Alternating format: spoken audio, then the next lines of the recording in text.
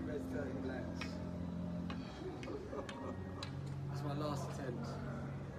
We're back tomorrow. And I will get it. One day.